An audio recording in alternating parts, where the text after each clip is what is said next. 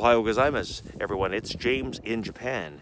It is Thursday, December 31st, 2020. It is New Year's Eve. In Japanese, it's called Omisoka.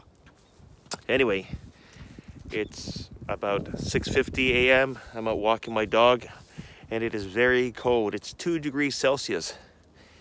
And uh, I don't see anyone around.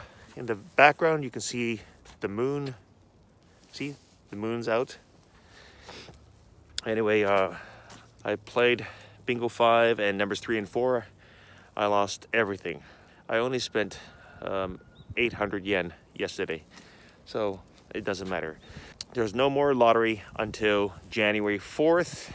The Nenmatsu Jumbo drawing uh, will be held today, I think.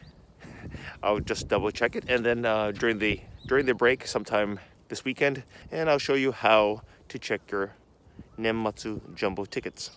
Tomorrow I'm going to do a big challenge. I'm jogging from my area, which is in Tarumi, Kobe, down to Akashi. That's 16 kilometers.